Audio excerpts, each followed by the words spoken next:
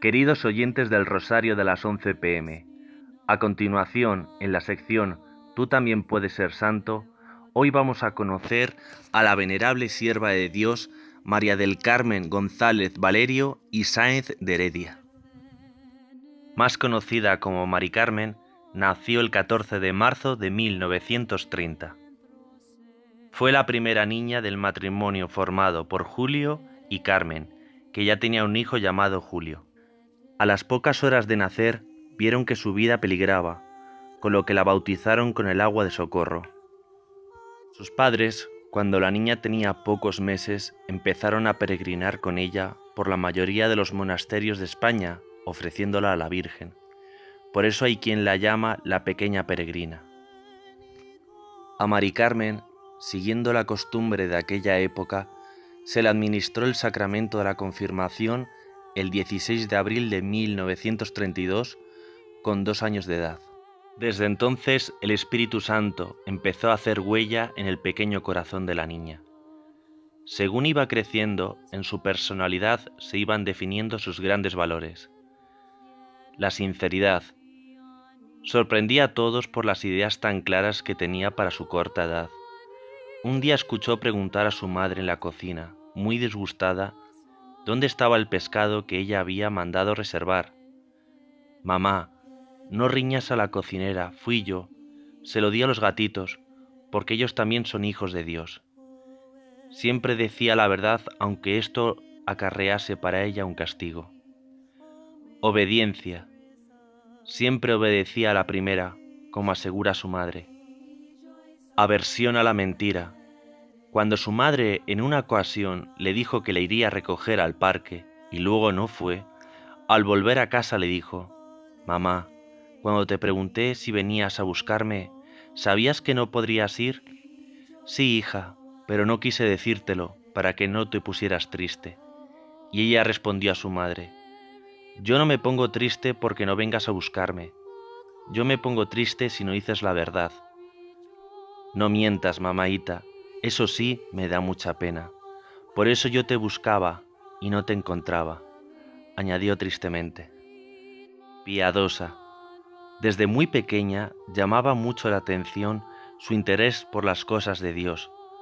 Todas las noches rezaba con mucha devoción delante de una imagen de la Virgen con el niño Jesús.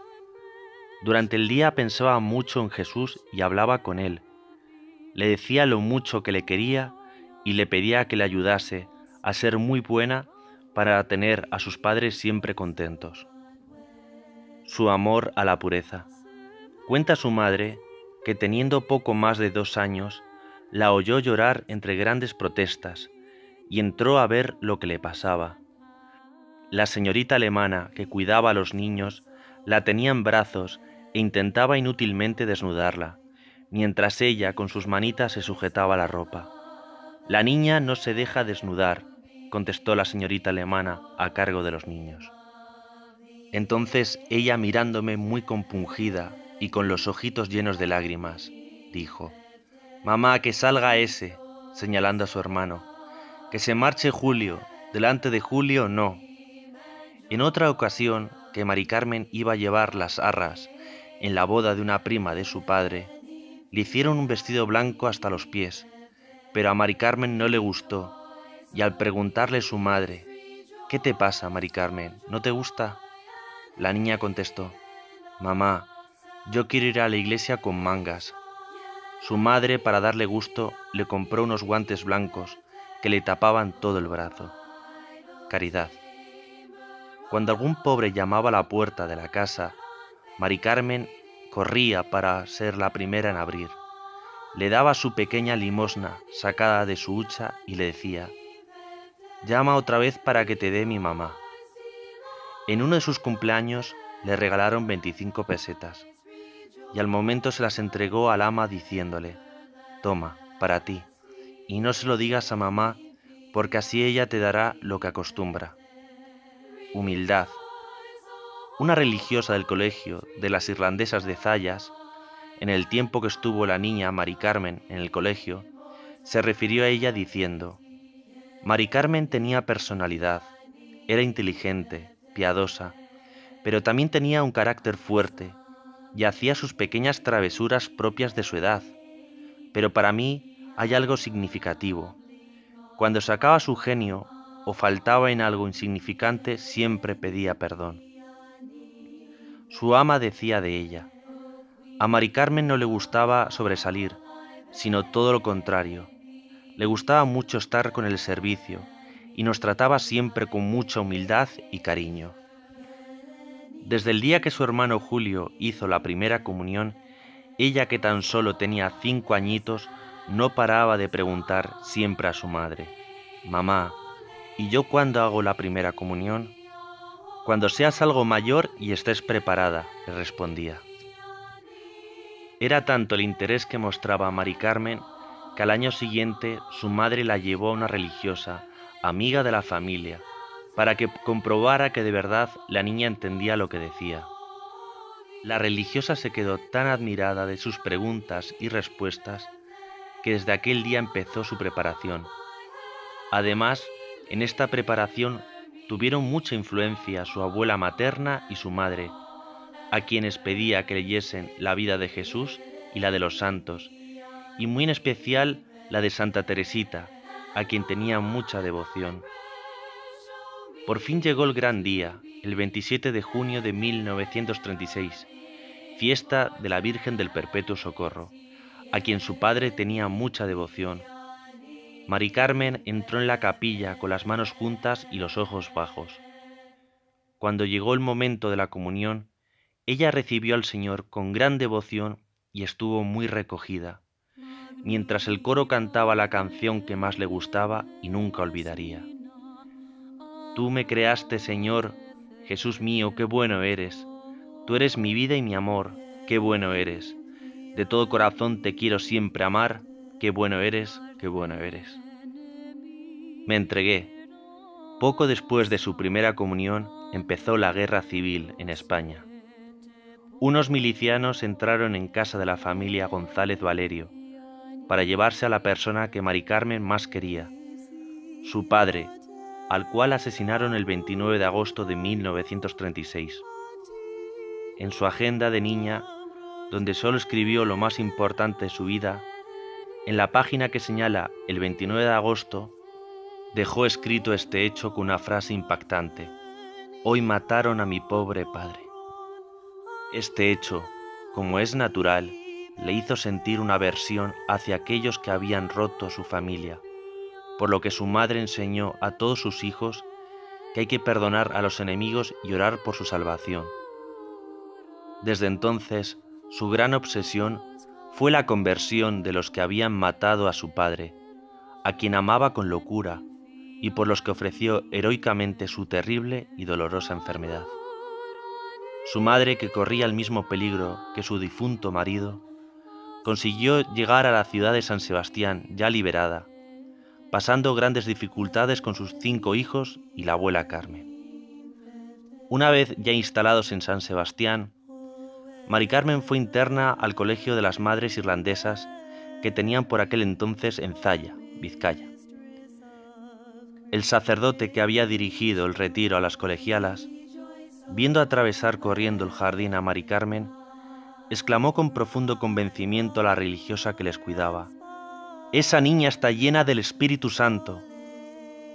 Durante las vacaciones de Semana Santa en San Sebastián, el 6 de abril de 1939, jueves santo, en la parroquia del Buen Pastor, Mari Carmen culmina su donación al Señor y escribe sus famosas palabras, me entregué. Al salir de la iglesia preguntó, Abuela, ¿qué es entregarse? Y ella le contestó, Entregarse es darse enteramente a Dios y ser toda de Dios.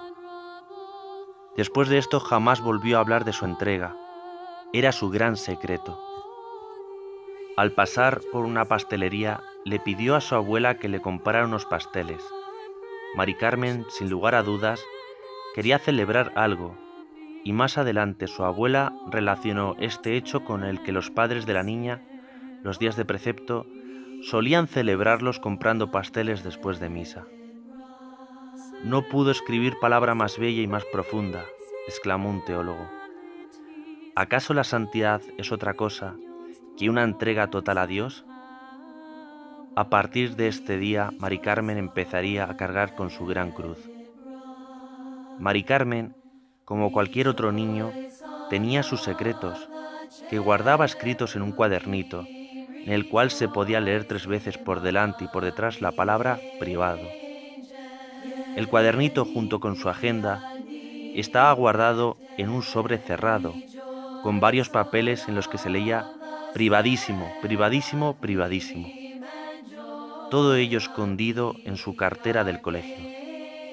Cartera que durante su enfermedad pedía frecuentemente, pero que gracias a Dios no se la quisieron dar, ya que seguramente hubiera destruido sus papeles. Estando en el colegio, se puso enferma con escarlatina, a la que no se le dio importancia. Como no se curaba, su madre la fue a buscar y se la llevó a Madrid. Ahora empezaba el brutal calvario. En un trocito de papel bien doblado, en el cual ponía por fuera, privadísimo, escribió, por papá, 7 de mayo de 1939, domingo. Seguramente ese es el día en que ella supo que estaba realmente enferma. Nada más llegar a Madrid, la tuvieron que operar de un gran tumor muy doloroso que se le había ido formando en el oído y ya casi se proyectaba fuera de la órbita de uno de sus ojos. Al hacerle la trepanación, el doctor se encontró medio deshecho el oído enfermo y comentó que no podía haber llegado a aquel estado sin terribles dolores. A este terrible sufrimiento se añadió una flebitis doble, cuyo dolor debió ser tremendo, ya que como es sabido, la flebitis simple arranca gritos de dolor. Mari Carmen nunca se quejó, a pesar de que el mero roce de las sábanas le causaba un tormento insoportable. Ella nombraba a Jesús en todos momentos de máximo dolor. Lo más parecido a una queja que jamás se le oyó fue en una ocasión que le cortaron el pelo y dijo sin tono de queja, desde este pelo que me han cortado hasta la uña del pie, me duele todo el cuerpo.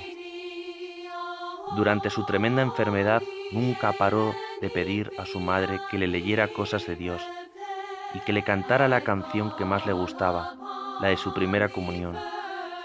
Qué bueno eres, Jesús, qué bueno eres. Su madre le solía decir que rezara por su curación a lo que ella respondía.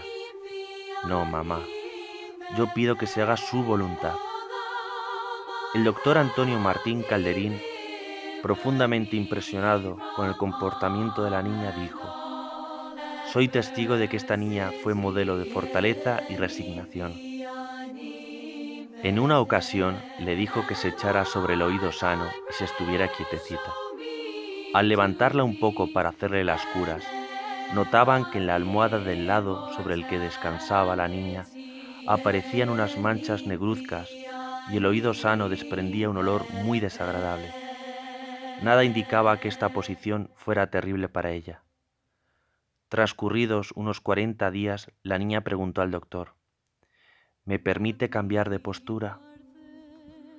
Aquella oreja sobre la que había estado recostada sin moverse, estaba completamente putrefacta. Tanto es así que con unas pinzas se desprendió por sí sola. Es entonces cuando comprobamos la heroicidad de su obediencia.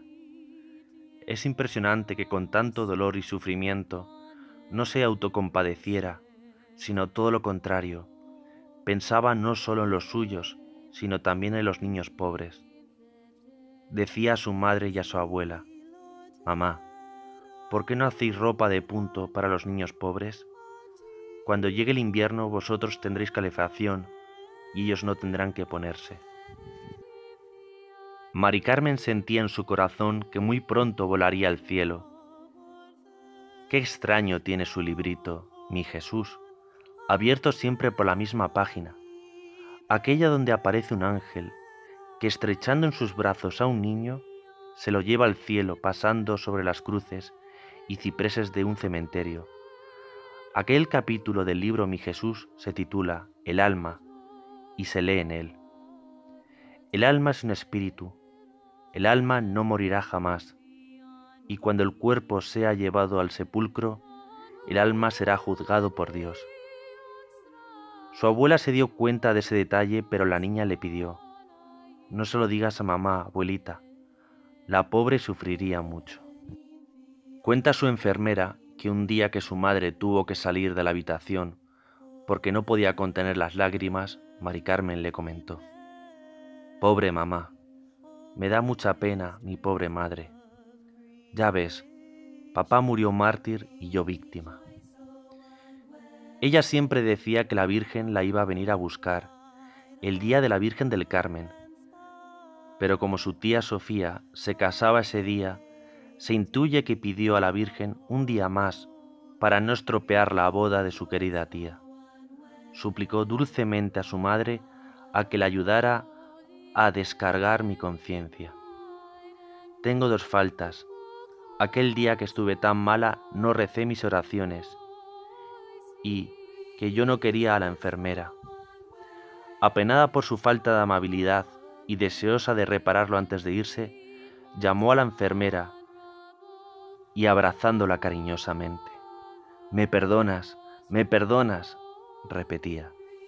Satisfecha ya de haber cumplido con su deber, juntó sus manitas, inclinó su frente y siguiendo a su madre comenzó humildemente el yo pecador. Luego, una vez más, la última, rogó a su madre, Cántame, mamaita, cántame. Qué bueno eres, Jesús, qué bueno eres. Era como al mediodía, cerca de la una, cuando de pronto, iluminándose el rostro, exclama, Mamá, mamá, ¿no oyes cómo cantan? ¿No oyes qué precioso? Pero Mari Carmen, si nos ves llorando a todos, ¿quién va a cantar ahora en casa? Al ver entrar a su abuela en la habitación le dice, Abuelita, ¿no oyes tú qué bonito? Qué bien, pero qué bien cantan. ¿Quiénes son, abuelita? La abuela contesta muy conmovida. Son los ángeles, Mari Carmen. Sí, sí, exclama ella. Son los ángeles que vienen por mí. A pesar de los esfuerzos del médico en mantenerla viva, ella exclama, Déjeme, doctor, déjeme ir ya. ¿No ve que viene la Virgen con los ángeles a buscarme? y mientras todos la miran entre asombrados y conmovidos, ella murmura dulcemente, Jesús, José y María, asistidme mi última agonía. Jesús, José y María, haced que cuando muera expire en paz y con vos el alma mía. Se incorpora aún más en la cama y haciendo ademán de separar con sus manitas algo que le estorba el paso, dice, Dejadme, Dejadme pasar ya. ¿A dónde quieres ir, Mari Carmen? preguntaba su abuela. Al cielo, al cielo, abuelita. ¿No ves que viene ya la Virgen a buscarme? Eran las tres de la tarde cuando cae dormidita en los brazos de su madre. Mirad, mirad qué hermosa se pone, exclamó uno de sus tíos, que la miraba desde los pies de la cama. Su madre, que la abrazaba deshecha en lágrimas, se despegó de su rostro y ella y todos se quedaron mirándola en silencio, con respeto y gran devoción. La miraban, parecían oírse aún los aleteos de ángeles. Desde ese precioso momento empezó a notarse la presencia de Mari Carmen. Ocurrió algo inexplicable. La madre, por indicación del médico, apartó alguna de las azucenas que habían puesto a su alrededor para que estuvieran frescas en el momento del entierro. Las colocó en agua dejándolas en la terraza, al fresco de la noche. A la mañana siguiente todas esas flores estaban marchitas, mientras que las que estaban alrededor del cuerpo de la niña, a pesar del calor del mes de julio de Madrid y del ambiente cargado de la habitación, 24 horas después de colocadas, no solo estaban frescas, sino cubiertas de menudo rocío como si estas flores acabaran de ser cortadas en una madrugada del mes de abril. El cuerpo, tan lastimado en vida, no exhalaba el menor mal olor, conservaba la flexibilidad y todos los caracteres de un cuerpo vivo. Su rostro estaba tan sonrosado que el forense encargado de certificar la defunción se negó a hacerlo comentando. Dada la circunstancia, la niña no puede menos de estar muerta, pero insisto esto, no es un cadáver. Las horas pasaban, había muchas dificultades para el sepelio, pero aquel cuerpecito continuaba sin el menor signo de descomposición. Yo que no quitaba mi cara de la suya, dice su madre, el único olor que sentía era el de las flores que rodeaban la flor de su cuerpo, flores todas ellas recién cortadas. San Juan Pablo II recibió el libro de la vida de Mari Carmen de manos de Pedro González Valerio, hermano de la niña, y su mujer Pilar Alós. Oración para conseguir la beatificación y canonización de la venerable sierva de Dios, Mari Carmen del Sagrado Corazón. Corazón Eucarístico de Jesús, que muestras tu predilección con los niños y con tu gracia poderosa puedes suscitar en la tierna edad santidad heroica. Glorifica a María del Carmen del Sagrado Corazón, que se distinguió por la devoción a la Eucaristía y a tu Madre María Santísima. Por estas devociones obtuvo una oración elevada, un amor muy grande a la pureza y a la mortificación, y mereció que María Santísima viniera a recoger su alma. Glorifícale, Señor, para que sea un magnífico modelo, intercesora de los cruzados. Amén. Actualmente los restos de Mari Carmen están en la parroquia Santa María de Caná, en Pozuelo de Alarcón. Oración alternativa.